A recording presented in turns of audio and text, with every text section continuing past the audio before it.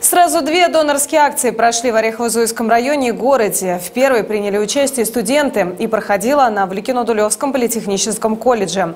Вторая состоялась в ДК «Карболит». Пришедшие доноры сдавали свою кровь для Егора Рытова, мальчика, которому поставили диагноз лейкоз. Мобильную лабораторию развернули в одном из кабинетов Ликино-Дулевского индустриального колледжа. Перед входом с самого утра большая очередь. В акции, приуроченной к празднованию Дня защитника Отечества, решили принять участие почти 100 человек. Я, пользуясь случаем, хочу поздравить, конечно, всех мужчин, ветеранов нашего района с праздником Дню защитника Отечества. А ветеранам сказать, я работаю на своей должности, много получаю таких упреков, что молодежь сегодня не такая. Так вот, уважаемые ветераны, Нашей молодежи нужно верить и доверять. И с ними тогда можно идти в разведку. В разведку можно точно пойти с Иваном Дукачевым. Как только узнал, что в колледже будет проводиться донорская акция, среди первых записался в ее участники. Как и все новички, он волновался. В итоге процедуру перенес спокойно. Ну, это мой шанс помочь другому человеку, сдать кровь, потому что люди нуждаются в этом, и я могу помочь им.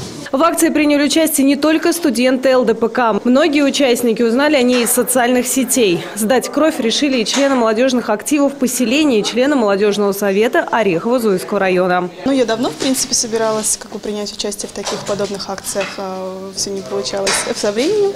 Вот сейчас а, я нахожусь в декретном отпуске, и есть возможность. А, поэтому как бы, считаю, что это какой-то долг чисто гражданский, чтобы, возможно, моя кровь кому-то поможет.